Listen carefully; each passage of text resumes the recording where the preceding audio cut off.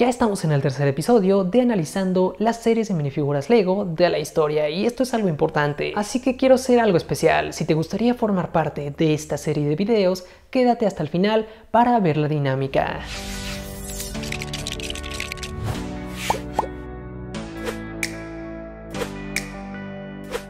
Esta vez tenemos una serie muy interesante de minifiguras y es algo especial, por lo tanto tenemos a un gran invitado, un buen amigo de YouTube Lego, les presento a Lego Creaciones.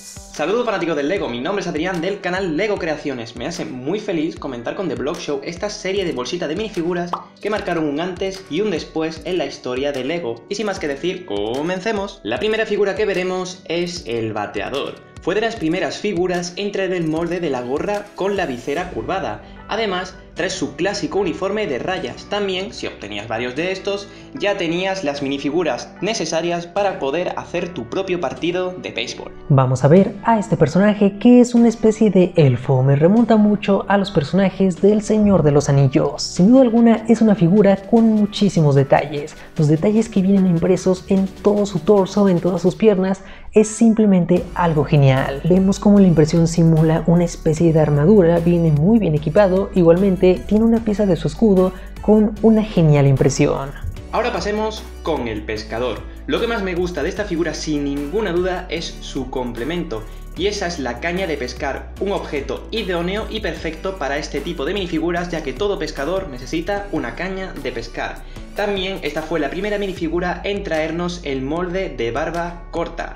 Además, como curiosidad, el uniforme que lleva es muy parecido al de los pescadores de Hidenside que salieron en el set del barco. Quedará decir que básicamente los trajes de Hidenside están inspirados en esta minifigura y están en el mismo universo. Pasemos ahora con el personaje de El Gorila, que es una especie de botarga, pero a la vez no, porque solo es la cabeza. Este molde, esta pieza que va en la cabeza como una máscara, es simplemente genial. La verdad me parece muy bien, es una figura simple, no es muy detallada, pero a la vez así es como debería ser. Tiene este pequeño accesorio de un plátano, entonces se complementa bastante bien. Esta en mi opinión es de las más bonitas de toda la serie y esa es la hawaiana. Esta figura trae una impresión de una flor tropical en el pelo, unas maracas de coco, las famosas guirnaldas de flores hawaianas impresas en el torso y una falda de hierba que eso también es muy típico allá en Hawái.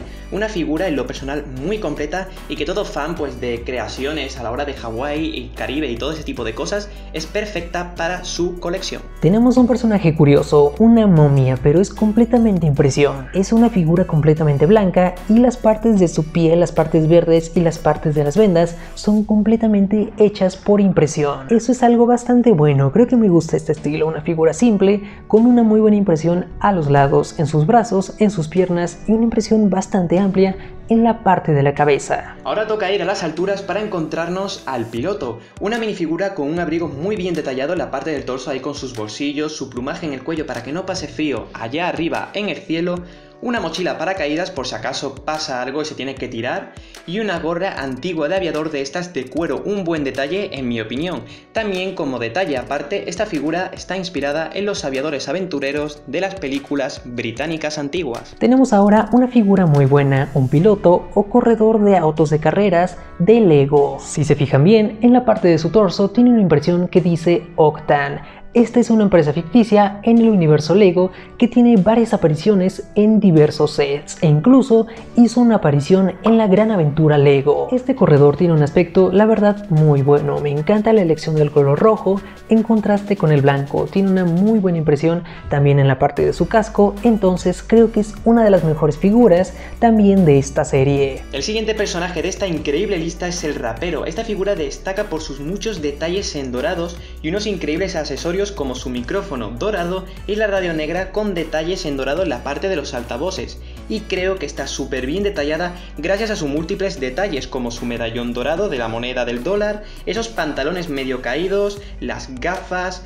dientes dorados y lo que más me gustó fue ese corte en la ceja. Es una minifigura muy completa en mi opinión y que todo fan de pues del rollo musical y todo ese tipo tiene que tener en su colección. Tenemos ahora a este personaje, una especie de samurái, el cual tiene muy buenas piezas. Vemos que tiene una muy buena arma, también tiene su casco, el cual es un molde que me encanta y por si fuera poco, lo que lo cubre la parte como de este chaleco está increíble. Los colores de su traje también me encantan, tiene una inversión muy buena, tanto en las piernas como en el torso y en la cara. Para ser una de las primeras series de minifiguras Lego, lo están haciendo bastante bien. En esta ocasión nos vamos a la montaña nevada con la chica con snowboard, un personaje muy completo ya que trae su equipación completa de deporte con una impresión de torso y de piernas muy cool, un casco protector por si acaso se cae y evidentemente su tabla de snowboard que es el que le da el nombre al personaje con una impresión y diseño muy muy cool, una figura perfecta para creaciones y dioramas invernales. La siguiente es una de las figuras más extrañas que he visto, pero está súper cool. Se trata de este alien el cual tiene un molde para la cara muy muy raro. Y esto es curioso, no suelen poner este tipo de moldes especiales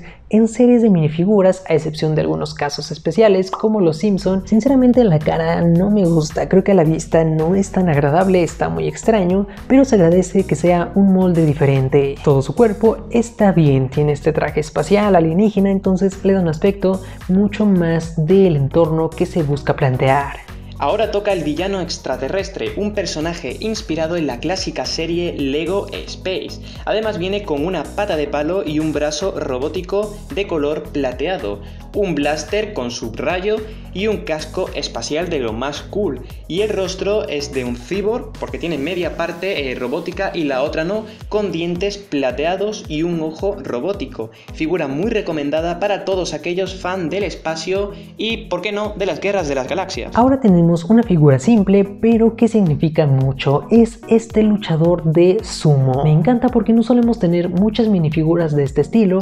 Vean cómo se simula toda la masa corporal simplemente con la impresión se crea este efecto de que la figura es mucho más robusta, así que me encanta, lo hicieron muy bien. La impresión es simple, la verdad no es nada elaborada, pero viene acompañado de un pequeño pero genial trofeo de bronce. Y la última figura que os traigo yo en este vídeo es el jefe de la tribu, una figura increíble con un diseño e impresiones muy cool, además ese sombrero con plumas está muy bien decorado tanto por la parte de adelante como por la parte de atrás que incluso pintaron lo que viene siendo la parte del pelo está genial, también trae una lanza con la punta de goma tanto para que no la rompamos, tanto para que no nos hagamos daño.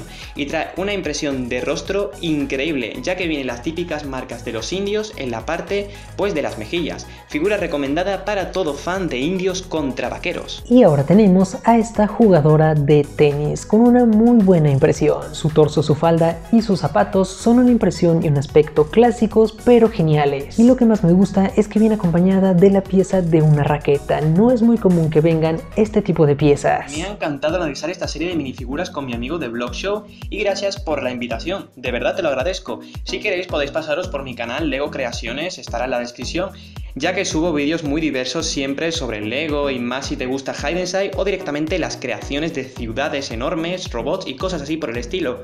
También tengo Instagram a nombre de Lego Creaciones ESP y dicho todo esto, la verdad, muchísimas gracias de Blog Show por dejarme aparecer en uno de tus vídeos.